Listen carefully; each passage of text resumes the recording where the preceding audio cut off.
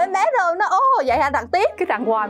Cái xong cái lúc đó bắt đầu cái chị đi cùng chị bực quá thì chồng em đâu có biết gì đâu đâu có kinh nghiệm. Ừ. chị nói stop không làm nữa. Không có cách nào nữa. Stop cái cô cô y tá đó. Dạ. kêu mày đừng có làm như vậy nữa. Còn em của ta nó mắc sức nó không có làm được Ừ. như vậy. Bậy rồi cái này bậy rồi. Khi bác sĩ vô thì à, ready hết Dạ. rồi set up hết thì nói em rặn hai cái em rặn không nổi em hết sức thì bác sĩ nói thôi cô cho cô nghỉ chút xíu với à, à, bớt thuốc ra. Dạ. tại vì nó đơ hết đâu có biết Ừ. đâu đâu mà Ừ, ừ. thì cũng mới rút thuốc bớt ra thì nói là nếu mà à, em vào một lần nữa à, bác sĩ vào một lần nữa nếu mà rặn một hai lần nữa không được thì chuyển vào mổ. Ừ.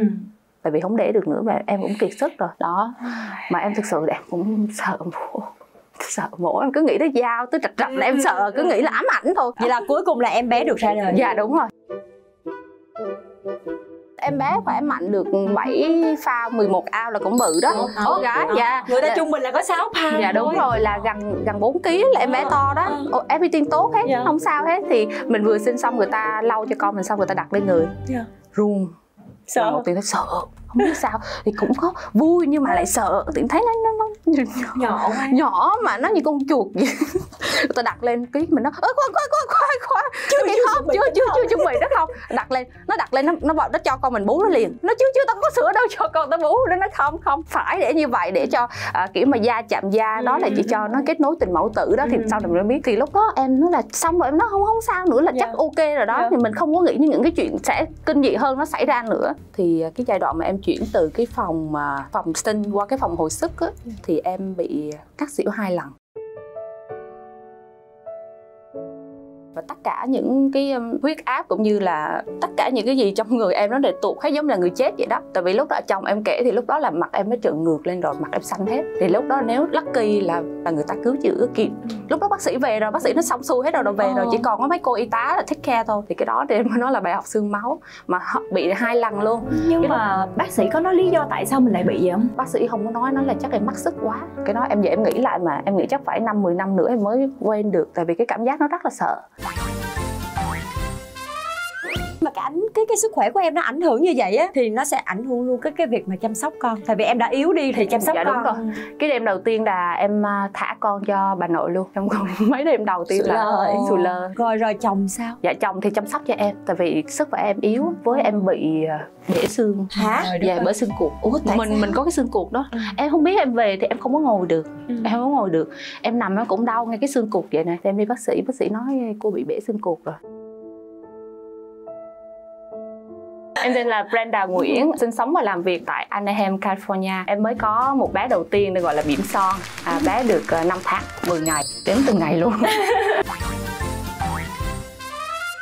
sao mình biết có cái tin mình có thai? Ồ thì nó phải có cái dấu hiệu gì đúng dạ không? dạ dạ. Cái chuyện có thai này là hai vợ chồng em muốn có. Thực sự em cũng kể với chị luôn là em có vấn đề về cái ovary cái um, cái buồng trứng á. Ừ. em bị khối u bự lắm ở buồng trứng. Thì cái năm 2017 là em có nhập viện. Hồi đó em cũng không có nghĩ em muốn có con đâu. Thì em mới có bạn trai thôi là chồng hiện tại của em. Thì à, em bị à, nhập viện. Bị lít ở trong đó nó lủng ở trong đó. Đau lắm chị. Đau hơn đau đẻ nữa nên sau đó em đau đẻ không xi nhê bằng đau cái đó. Cái em bị à, như vậy thì em vô bệnh viện thì người ta nói à, cô maybe cô bị nhiễm trùng rồi. Ừ. có thể là sẽ cắt tức là cắt buồng trứng. Từ đó mình chưa có con mà. Lúc đó em khóc nhiều lắm. Em mới nói ờ, với bạn trai của em nói là lỡ như mà em không có con á, thì như thế nào? Thì anh nói là tội nó không sao em. Nhà anh đông con lắm. Ba má anh có ai tám đứa con không có đứa cháu này có đứa cháu kia mình có lo. Em biết là anh nhưng mà anh rất là thương con nít nha. Thì anh nói như vậy nó không sao. Có gì thì nhận cháu làm con nuôi cũng được em biết là anh an ủi em thôi. Nhưng mà lucky thì lúc đó em đang nằm chờ chờ chờ cắt thì bác sĩ chạy xuống có nói là ủa chứ cô có đứa con nào chưa kìa chưa chưa có con. Nói chạy thôi tôi giữ lại cho cô. Trời last minute luôn. Dạ last minute giữ lại không có cắt nữa. Từ lúc đó là cả một năm á là em Ừ. phải đi bác sĩ liên tục Ừ. 4 tuần đi một lần để người ta theo dõi. Ta mới phát hiện ra là cái khối u của em là nó cứ to ra Nó rất là to, nó Ừ. to bằng giày này Bằng giấy lê á Rồi nó bể đi. Rồi nó lại lên cái khác ờ, có nói là xét nghiệm là Ừ. ác tính hay lành tính? Tại vì nó chưa có đến mức độ là em chưa có bị thêm một lần nữa. Nếu mà nhiễm trùng một lần nữa mà nhập viện thì người ta sẽ cắt cái đó luôn. Tại vì nó cứ lên xuống lên xuống Ừ. thì bác sĩ nói là thực sự là những người mà bị như vậy rất là khó có con. Ừ. nên là nếu mà cô muốn có có con đó thì phải càng sớm càng tốt. Tháng 12 2019 tụi em ờ, kết hôn thì em cũng không muốn có con trước kết hôn nữa. Cái xong thì em cũng có đọc hết trên mạng, bác sĩ bày cách nào là làm cách đó, đủ thứ hết, nhưng mà bốn năm tháng không có gì hết. Xong cái đợt đó buồn cười lắm, em đi làm trên tiệm, xong cái chị chủ tiệm em đó. chị nói ờ, hôm qua chị mơ chị mơ tiệm mình có ai có bầu hết ai mà đang thả thì đi về check đi. Mình nghe em cũng nhột nhột. Nhột nhột. mình nhột nhột đâu nói gì im im xong cái về nhà cái thử tự nhiên có hai vạch thôi em không có tin. Em về em đưa cho chồng em nói ồ em có hai vạch nói thì có có tay rồi mừng quá mừng mà không tin. Em thử 6 lần lần em thử 6 lần lần tại vì cứ không tin vào mắt mình đó thử đến 6 lần mà vẫn chưa tin. Phải hẹn bác sĩ liền. Khi bác sĩ confirm nói em bé có tim thai rồi. Trời ơi có tim thai rồi là cũng phải là khoảng 8 tuần rồi yeah, đó nên là em mới nói là đó. nhiều khi người ta chết cũng sai đó chị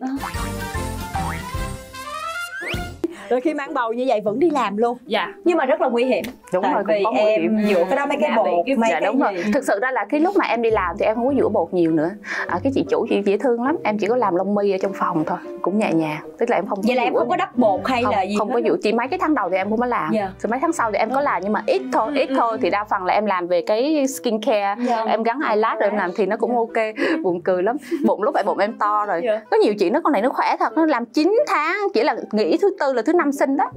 Làm liên tục. Thì em đi làm dễ thương lắm con cái bụng to vậy nè em ngồi em gắn lông mi vậy á. Con khách em nêu nó Brenda con mày nó đá vào đầu tao mày có biết không bà nằm vậy nè nó đá lông mi thì em em có, có lúc mà mang thai cũng ok khỏe lắm. Ba tháng đầu tiên chỉ bị là sợ đám đông thôi. Ừ. nhưng mà chị cứ vô nhà thờ lúc đứng lên bắt đầu cái đầu mình nó chúi xuống không có thở được ba tháng đầu tiên có bị ngán nhiều không? Không ngán nhiều không có ói nhiều nhưng mà lại bị như vậy là ngột thở là phải đi ra ngoài liền. Ờ nhưng biết có, có ai bị ốm ngán mà ăn nhiều không? Em ốm ngán là ăn nhiều. Không chị ấm ngán thì chị không thể Ờ, ăn thì đa phần bạn em là ăn không được mà ói. Đúng rồi. Ói còn em lại ăn được. Hồi xưa là trước khi mang bầu thì em không có ăn được nha. À. mà thì mang bầu ăn được lên quá trời lên em tăng ký dữ lắm em tăng khoảng gần 40 phao á. 40 phao với so đây là bự lắm. Dạ. Buồn gần hai chục ký chứ. Dạ đúng rồi Nhiều. đúng rồi. Và đó em có cái kỷ niệm này vui lắm. Dạ ở trong uh, tiệm salon em bị khẩu trang thì có cái bà khách kia khách mỹ vô hỏi là tao muốn tìm Brenda. Nói Brenda Brenda đây. Còn không có tin. Brenda nó ốm ốm á cái không Brenda thì tiệm này có một Brenda thôi tôi không tin tại vì mập quá không nhận ra. Trời ơi, nhưng mà bây giờ xuống lại vậy là là dạ. đúng rồi là giỏi kinh khủng. Nhưng mà em nói đa phần hình như em thấy có nhiều chị cũng hỏi sao mà vừa sinh xong lại xuống em nói thức khuya vài đêm rồi xuống à thức khuya trong con á con khóc rồi xuống có phải không? nhiều người thức khuya. vậy á hả? Họ ăn double hơn nữa thì em em cũng ăn nhiều lắm nhưng mà hơn em cũng xuống được. Vậy à thấm tự nhiên em ờ, sinh xong em chẳng thèm ăn cái dự sinh của em là Christmas đây là cái ngày ờ, Noel á. Dạ bác sĩ buồn lắm. Bác sĩ nói lỡ mình sinh trúng ngày đó mời birthday không ai đi đâu. Bác sĩ nói Ờ, vậy Tại ông cũng sinh ngày đó luôn ông nói buồn lắm. Ông nói trời ơi mời không ai đi em ơi cái tháng đó người ta bận rộn đình tiệc tùng.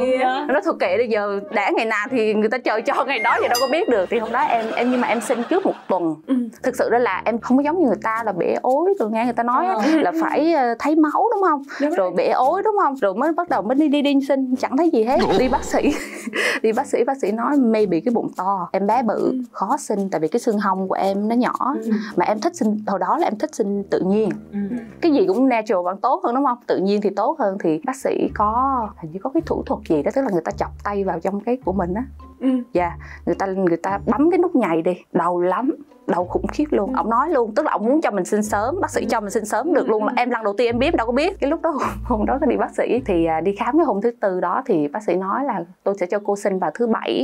Đó. Nó nói ủa chứ sao chưa đau bụng chưa gì hết mà sao sinh thứ bảy được trời? Thì mình cũng nghĩ trong bụng như vậy. Cái xong cái lúc đó về nhà buổi tối hôm đó là một giờ em đau bụng rồi. Ừ. một giờ đau bụng đến 5 giờ mà lì lắm nói ai hết. Nhưng mà đau sao nó cứ đau mà đau kiểu như đau đau đau, đau giỡn giỡn á nha. Giống như kiểu đau chút xíu cái vừa định định định nói chồng cái nó hết đau chồng mình thiệt á cái bắt đầu lại đau tiếp cái vừa định nói "Ờ, hết đau cái lại gục tiếp. Nó chắc bà ăn bậy gì chắc nghĩ ăn bậy gì? Chứ nghĩ đâu có đâu mà nhanh vậy được. Cái bỡ ngỡ thực sự ra làm mẹ lần đầu tiên mình cứ cái gì cũng bỡ ngỡ. Mình có đọc sách đọc báo mình coi internet mình coi hết rồi.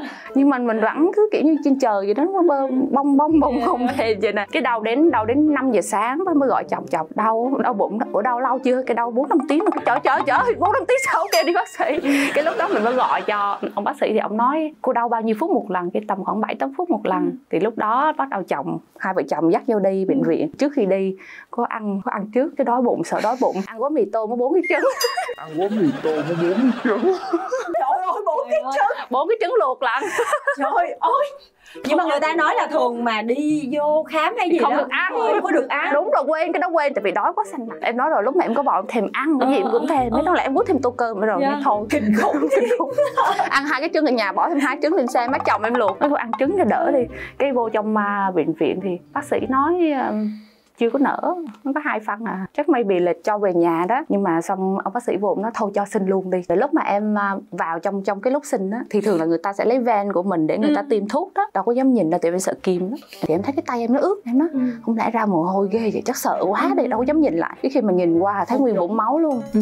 Vậy cái cô này của của y tá mơ mới hay sao đó xui. Ừ. chúng y tá thực tập hay sao đó tiêm sao mà tiêm hai ba phát mới trúng. Máu một vũng luôn. Mình nhìn nó nó nó nhìn mình nó nói tao xin lỗi mày tao lỡ tay. Xong mình cũng đâu dám nói vậy nó ok chứ chưa bao giờ thấy thì em cũng lấy ven nhiều rồi. Em đâu có thấy cảnh mà lấy ven nguyên một cái tờ cái cái miếng giấy là máu không. Thấy còn nhiều hơn đi đi đi rút máu nữa. Yes, quá nhiều luôn. Em nghĩ chắc là vì cái đó mà em bị mắc máu nhiều đó. Chứ thực sự sinh ra cũng không có mắc máu nhiều như vậy. Ồ em nghe cái cảnh mấy người người ta sinh em coi trên mạng á Là bắt đầu đau bụng quằn quại rồi Ừ. đứng rồi lăn lết lăn lê rồi ghê phải không? Em chẳng thấy gì. Mình cực kỳ enjoy phải không? Ừ, nằm không à, nằm không à. Xong cái bác sĩ mới ra tiêm thuốc dục rồi xong hỏi là có muốn ờ, Lúc đó ối chưa có bể Thì bác sĩ phải thọc ừ. cho ối bể ra. Xong cái cho chuyển qua cái phòng nằm chờ thì à, người ta hỏi là có muốn chích cái thuốc gì ta? Thuốc gây tê gây tê tủy sống. Chưa chích mà nhiều người hù lắm nghe nói kim to. Ừ. nghe nói kim to. Lắm to bác sĩ hỏi là cô có muốn chích không? Chích liền ngay và lập tức. Ừ. không cần chờ đợi tại vì có nhiều chị chỉ kể là để chờ chờ đau quá rồi đau quá rồi. Ừ, cái ừ. bắt đầu chích không kịp vô đó Ừ, ừ. là mất Không sức nữa dạ đúng rồi. Cái lúc mà em đi sinh thì ta là chích hai thuốc vô đúng không? Thuốc giảm đau thuốc dục sinh em nằm chơi phơi phơi thăng vậy thôi. Sướng vô cùng. Năm em nói ủa anh anh không có đi bộ ngoài đó hả? Không có đi bộ rồi. Lăn lăn lăn giống mấy chị ở trên mạng cái cái gì cấu đúng rồi đúng rồi. Mấy chị kể em coi trên mạng ôi anh ơi em không sinh được đâu này kia. Chị nó khóc lóc ở trên tivi đó kiểu như người ta đau á. Nó có gì đâu mà kêu bình thường nằm gì đó. Lúc đó khoảng hai ba giờ chiều thì bác sĩ nó không có không không có tiêm thuốc dục sinh nữa. Tại vì em bé nó mạnh không Ừ. lắc lucky là em bé nó mạnh nó tự đẩy được nó tự đẩy được nó đi xuống lăn đi xuống Ừ. lăn đó. Bác sĩ mới nói là maybe chắc được nửa đêm mới sinh. Vậy trời á? trời hai giờ ơi. chiều mà nửa đêm là 12 giờ Ừ. là về nửa đêm. Mà không được ăn nữa. Không được ăn. Em nghĩ đến cái cảnh không ăn không uống. Ông nói em nói ủa có được ăn không? Ông nói được cho cục đá nhỏ từng giọt vậy nè. Nhỏ từng giọt vậy nè. Em nói chồng em anh anh mua đồ ăn sẵn em vừa xin một cái là em ăn liền nó ăn liền vậy em đói bụng xong thì à, khoảng 6 giờ khi y tá vô kiểm tra lại thì thấy em nở đủ 10 phân rồi. Dạ. Có phải nở 10 phân là sinh được đúng không? Đúng rồi đúng rồi. Có 8 phân 8 8 phân. là sinh được rồi đúng không? phân là sinh rồi. Mà bác sĩ không tới. Lý do? Không biết làm sao. Chẳng biết bận rộn ở đâu không biết đi đâu hay là đi đây chưa về. ờ, sĩ. là 6 Ờ. là lúc 6 giờ là đã nở 10 phân rồi. Thì khi khi cái, cái cô y tá của cô nở đủ rồi để cô Ừ. gọi bác sĩ gọi hoài không tới. Mà mình thì cái lúc mà nằm chờ thực sự ra là Ờ. tâm lý nó bị áp lực Ừ, lắm áp lực lắm sốt ruột. Tại vì khi mà nằm chờ thì con mình nó ngột trong đó lỡ nó bị gì sao lo lắm luôn. Lo lắm thì cũng lúc đó hối con y tá Ừ. cứ hối con y tá nói ủa mày gọi bác sĩ cho tao không? Bác sĩ này bác sĩ khác Ờ, cũng được chứ. Tao để em chỉ biết em nằm đó mà em run em run vậy nè. Em bị sốt luôn đó. Ừ. em bị sốt cái lúc đó em bị sốt. Ừ. sốt tại vì kiểu căng thẳng lo đó Ừ, ừ, lo đó. Ừ. cứ vài khoảng thành năm mười phút cứ hỏi ủa mày chết thử con tao nó còn thở không? Ờ. tim nó còn đập không? Tại vì sợ nhiều người nói lắm nó Không. ối rồi nó cái vậy. máy nó đã bên cạnh rồi nhưng mà vẫn sợ hỏi thêm cho chắc thì tự nhiên con y tá nó vô nó nó nói là thôi tao bày cho mày tập rặn có cái vụ này nè ta chưa từng có nếu mà ở ngoài kịch bản gì đó Ừ, tập, tập rặn rặn. ờ nó bắt tập rặn thì nó nói tập rặn thì mình cũng rặn mình rặn như rặn thật đó mấy chục cái đó chị ừ. tại vì nếu mà em mà rằng như vậy á là có thể là em bé nó đi ra luôn Yeah, thì nó kêu là khi mà mình tập rặn như vậy nó chưa ready với chị nó mình tập rặn thôi Ờ. thì mình rặn thì nó nói "Ơ, tao thấy cái đầu em bé rồi nó ô vậy hả rặn tiếp cái rặn hoài cái xong cái lúc đó bắt đầu cái chị đi cùng chị bực quá thì chồng em đâu có biết gì đâu đâu có kinh nghiệm Ừ. chị nói stop không làm nữa không có cách nào nữa stop cái cô cô y tá đó Dạ. kêu mày đừng có làm như vậy nữa còn em của ta nó mắc sức nó không có làm được Ừ. như vậy bậy rồi cái này bậy rồi khi bác sĩ vô thì à, ready hết Dạ. rồi set up hết Ừ. thì nói em rặn hai cái em rặn không nổi em hết sức thì bác sĩ nói thôi cô cho cô nghỉ chút xíu với à, à, bớt thuốc ra Dạ. tại vì nó đơ hết đâu có biết Ừ. đâu đâu mà Ừ, ừ. thì cũng mới rút thuốc bớt ra thì nói là nếu mà ờ, em vào một lần nữa à, bác sĩ vào một lần nữa nếu mà rặn một hai lần nữa không được thì chuyển qua mổ ừ. Tại vì không để được nữa và em cũng kiệt sức rồi. Đó. Mà em thực sự là em cũng sợ mổ sợ mổ em cứ nghĩ tới dao tới trạch trạch là em sợ. Cứ nghĩ là ám ảnh thôi. Vậy là cuối cùng là em bé được ra đời. Dạ đúng rồi. Em bé khỏe mạnh được 7 phao 11 ao là cũng bự đó. Ờ, gái dạ. Người ta Dạ. trung bình là có 6 pound dạ đúng thôi. rồi. Là gần gần 4 kg là em bé to đó. Ồ, everything tốt hết Dạ. không sao hết. Thì mình vừa sinh xong người ta lau cho con mình xong người ta đặt lên người. Dạ. run sợ một tiếng thấy sợ không biết sao. Thì cũng có vui nhưng mà lại sợ. Thì thấy nó, nó nhỏ, nhỏ quá nhỏ mà nó như con chuột vậy. Ta đặt lên cái mình nó ơ khoan khoan khoan khoan khoan. Chưa cái khóc chưa chưa chưa chuẩn bị nó không. Đặt lên nó đặt lên nó nó bảo nó cho con mình bú nó liền. Nó chưa chưa tao có sữa đâu cho con tao bú. Nó nói không không phải để như vậy để cho à, kiểu mà da chạm da đó là chỉ cho nó kết nối tình mẫu tử đó. Thì sau này mới biết thì lúc đó em nói là xong rồi em nói không không sao nữa là chắc Dạ. ok rồi đó. Dạ. thì mình không có nghĩ những cái chuyện sẽ kinh dị hơn nó xảy ra nữa. Thì à, cái giai đoạn mà em chuyển từ cái phòng mà phòng sinh qua cái phòng hồi sức á, thì thì em bị cắt xỉu hai lần. Và tất cả những cái um, huyết áp cũng như là tất cả những cái gì trong người em nó đều tụt hết giống là người chết vậy đó. Tại vì lúc đó chồng em kể thì lúc đó là mặt em nó trợn ngược lên rồi mặt em xanh hết. Thì lúc đó nếu lucky là là người ta cứu chữa kịp. Lúc đó bác sĩ về rồi bác sĩ nó xong xuôi hết rồi rồi về rồi Ờ. chỉ còn có mấy cô y tá là take care thôi. Thì cái đó thì em mới nói là bài học xương máu mà họ bị hai lần luôn. Nhưng Cái đó- mà bác sĩ có nói lý do tại sao mình lại bị vậy không? Bác sĩ không có nói nó là chắc em mắc sức quá. Cái đó em giờ em nghĩ lại mà em nghĩ chắc phải năm 10 năm nữa em mới quên được. Tại vì cái cảm giác nó rất là sợ mà cái sức khỏe của em nó ảnh hưởng như vậy á thì nó sẽ ảnh hưởng luôn cái cái việc mà chăm sóc con. Tại vì em đã yếu đi thì chăm sóc Dạ, con. đúng rồi. cái đêm đầu tiên là em à, thả con cho bà nội luôn. Trong mấy đêm đầu tiên Sụi là lơ. sùi lơ. Rồi rồi chồng sao? Dạ chồng thì chăm sóc cho em tại vì sức khỏe em yếu với em bị à, bể xương. Hả? Dạ bể xương cuộc Ủa, tại mình sao? mình có cái xương cuộc đó. Ừ. em không biết em về thì em không có ngồi được. Ừ. em không có ngồi được. Em nằm em cũng đau ngay cái xương cuộc vậy nè. Em đi bác sĩ bác sĩ nói cô bị bể xương cuộc rồi mà cái xương cuộc thì không có bó được. Cái xương gì trong người mình thì bó được nhưng mà cái xương cuộc cái đó không có bó được. Chắc maybe mình rặn nhiều quá. Với tại vì em đã nói là cái xương chậu của chị của em nhỏ thì khi mà em bé nó bự nó ra thì nó bị bể. Ừ. em đau hết hai tháng Ừ. rất là đau. Rồi Hai con tháng. thì sao? Có gần em nhiều không Ờ, dạ em cũng cố gắng hết sức để cho con gần nhiều nhưng mà ờ, cũng có mọi người xung quanh trong gia đình chồng rồi mẹ em giúp đỡ tại vì thực sự em bị đau lắm rồi vậy thì em bé không có được uh, bú sữa mẹ thực sự ra là cái đó cũng là một cái áp lực cho những cái người phụ nữ sau sinh nữa Ừ. thì ai cũng nói là sữa mẹ là tốt nhất cho sức khỏe của trẻ sơ sinh là trẻ nhỏ rồi. thì mình cũng ráng hết sức để Ừ. cho con mình bú thì lúc đó Dạ. em cho con em bú được 3 tuần Ừ. 3 tuần là em hết hết nổi nhưng mà cũng cũng cũng hay cái là em Dạ. được cho 3 tuần tại vì Đúng, cái tuần cái ngày đầu tiên mà uống Dạ, á, cái sữa dạ là sữa tí- dạ là cái sữa đầu sữa vàng vàng đúng đúng rồi là tốt nhất rồi xíu có hơn Có không hơn không, có đúng hơn rồi. không vừa sinh xong là vừa sợ con bệnh nè vừa lo mẹ để vừa sợ xấu nữa đủ thứ chuyện sợ hết chi nhiều khi tâm lý và ảnh hưởng Dạ, đến sữa rồi. cũng Đúng có thể rồi, đó đúng rồi, đúng Ừ. rồi. rồi thêm bị đau đau cái xương này quá nữa bị đau lắm với cái vết thương tại vì khi mà mình sinh vậy đó cái của mình nó nhỏ người ta phải rạch cái tầng sinh môn đó thì em bị kiểu như em bị nhiễm trùng đó chút xíu. Ừ. nói Nhưng chung mà- là đau đớn đủ chuyện ngồi không được nằm không được Ờ. đứng không xong. Luôn. dạ, vậy là bị stress nhiều lắm. Stress nhiều lắm. Nên à, nhiều người nói là cứ sinh con xong là tâm sinh lý thay đổi. Ừ. mình nói không là tâm lý em vững lắm em qua đây 9 năm em vững lắm cái gì chuyện gì xảy ra em cũng ok hết. Mà em sinh xong em thành người khác hồi xưa vui vẻ lắm Ừ. vui vẻ không bao giờ bực mình ai Ừ. tự nhiên vừa sinh xong giống như thành cái người gì gặp ai cũng bực hết thấy gì cũng bực hết. Cái chuyện gì chút xíu là mình Ờ. khui ra cho nó to. Rùm bang lên là ngồi khóc hoài mở cửa sổ ra nhìn chiếc lá rớt xuống. Đó nữa chị thấy chưa? Cửa sổ lại cửa sổ. phải bỏ cửa sổ đi bỏ cửa lại sổ cửa sổ. Ờ cứ thấy là thấy cái gì cũng buồn hết. Hình như đây là điểm chung của Ờ, các bạn điểm mười chị là hết mười chị Dạ. cửa sổ có vậy thôi. này có vậy thôi. Chồng em á em tự nhiên không muốn ăn cơm thèm ăn bánh mì. Ờ. nó anh đi muốn mì cho em. Anh đi muốn mì thì chờ hơi lâu ở bên này deadline lâu lắm. Ừ. xếp hàng chờ lâu quá về bực mình thèm ăn. Khóc dạ, người sao nó giống là con nít vậy đó giống con nít vậy sao cái gì cũng bực mình hết. Cách nào để để tránh cái cái chuyện mà trầm cảm không? Hay là nó kéo dài bao lâu thì nó chấm dứt? Chấm dứt ở một cái cái kỷ niệm khó quên lắm. Thì cái hôm đó mấy, mấy à, có người ta bày là mua gà hầm thuốc bắc về Ừ. để mà hầm ăn cho khỏe người đó. Thì chồng em có đi mua đi mua về thì nói là để cho má chồng em nấu đi. Dạ. lúc đó má chồng em đi công việc thì chưa kịp nấu thì anh nói thôi để anh xuống bếp nấu lần đầu tiên nấu luôn. Lần đầu tiên nấu bằng cái nồi áp suất đó. Ừ.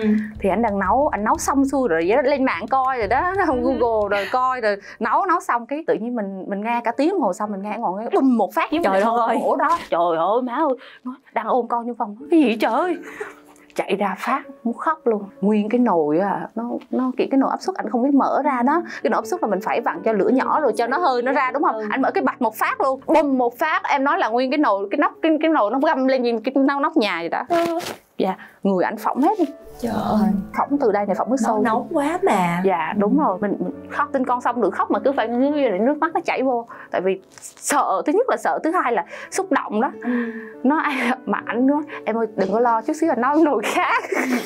Nó không bỏ luôn. Từ đó về sau em không bao giờ dám đụng với con gà đen nữa em sợ luôn. Ám ảnh ảnh phỏng hết người luôn cũng thương ảnh thì từ cái lúc đó đó là khoảng là một tháng á, thì bắt đầu mình từ từ cái mỗi lần mình bực mình ảnh cái gì mình bực mình mình nghĩ đến cái chuyện đó. nghĩ đến con gà đen.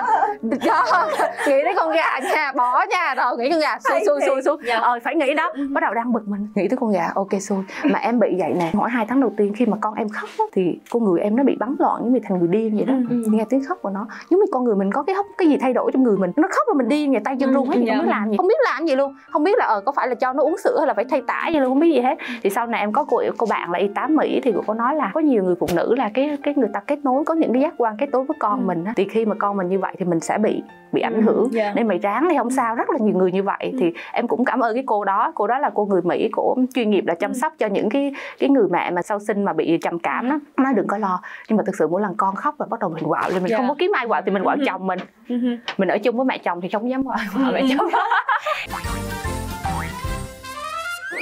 qua chương trình này em có muốn nhắn gửi với lại các các mẹ bỉm sữa khác không? Thì đúng là mình sẽ thay đổi mình sẽ có trải qua rất là nhiều về chuyện làm mẹ thì nó rất là một cái cái hành trình rất là dài. Mang thai rồi sinh con thì mình thay đổi tâm lý rất là nhiều mình stress rất là nhiều nhưng mà mấy chị cố gắng nghĩ về những cái điều tốt đẹp trước kia đã xảy ra. Đó nếu mình bực mình chồng mình nghĩ những cái điều tốt chồng mình làm cho mình để mình kìm xuống mình kìm xuống mình kìm xuống. Nhưng mà có nhiều khi mà lỡ mà mình không kìm được mình bùng ra mình bùng xong mình nhớ xin lỗi chứ không chứ không là vừa sinh con xong đổ vỡ hết. Thì bây giờ coi em được ờ, hơn 5 tháng rồi 5 tháng 10 ngày thì cũng vượt qua được cái giai đoạn khó khăn rồi. Gọi là giai 3 tháng đầu là khó khăn nhất Dạ. đó. Qua được giai đoạn ba khó khăn đầu là sẽ có những giai đoạn khó khăn khác nữa. Đúng rồi. mà nó đỡ. Nói chung là càng ờ, giai đoạn càng dạ cao rồi. lên thì dạ cái- đúng rồi. cái sự khó khăn dạ đúng nhiều. rồi đúng rồi. Nhưng mà cái thực sự ra làm mẹ là một cái chuyện rất là thiêng liêng. Dạ. dạ chưa làm thì không muốn làm nhưng mà làm rồi maybe nghiện muốn làm nữa đó. Dạ muốn làm nữa đó. Dạ. Rồi em cũng cảm ơn mọi người và muốn cảm ơn gia đình của em Dạ. Đặc biệt là à, chồng em à, mẹ em em chỉ còn mẹ thôi. À, và ba má chồng cũng như gia đình chồng em và chị Phương á, chỉ là người làm chăm sóc em lúc mà em sinh. Dạ. em đi làm mà em làm rồi chẳng em vào sinh. Đó rồi cũng có những cái lời khuyên cho em em rất là cảm ơn. Đó thì à, và mọi người nhớ tham dự và không phải tham dự mà xem rồi thích thì tham dự chương trình Dạ, này đúng nha rồi. rất là vui. Nói chung là các chị em mình phải share với đúng nhau. rồi phải share share Dạ. cho đỡ stress. Đúng Dạ, rồi đúng rồi. share đỡ stress. Thank và chương trình cũng cảm ơn em rất nhiều